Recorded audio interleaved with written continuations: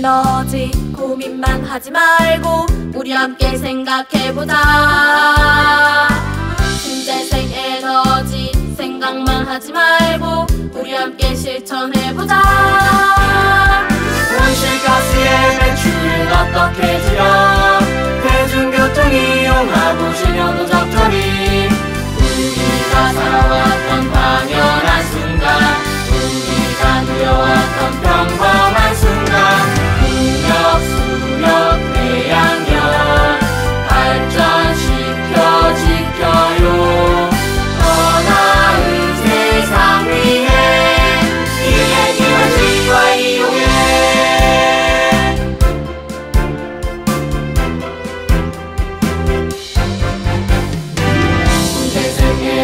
에너지 고민만 하지 말고 우리 함께 생각해보자